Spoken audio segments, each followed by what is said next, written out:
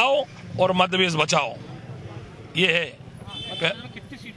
Samajwadi party तीसरा मोर्चे के साथ मिलकर दो तीस सीटों पर चुनाव लड़ाएगी और समाजवादी पार्टी के बगैर मतभेद सरकार किसी की नहीं बनेगी इस बार।